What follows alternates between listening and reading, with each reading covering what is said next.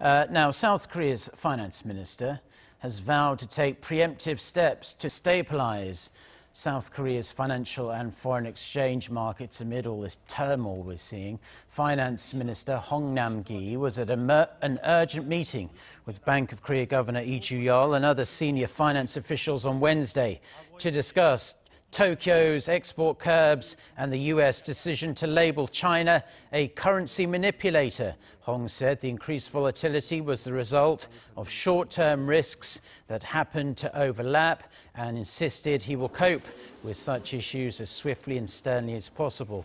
On top of around the clock monitoring, the minister also vowed to take measures to stabilize financial markets.